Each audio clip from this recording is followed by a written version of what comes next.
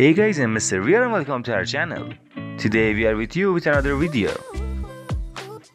As you probably know, today is the birthday of one of the most beautiful and talented actors in the Turkey and even in the world.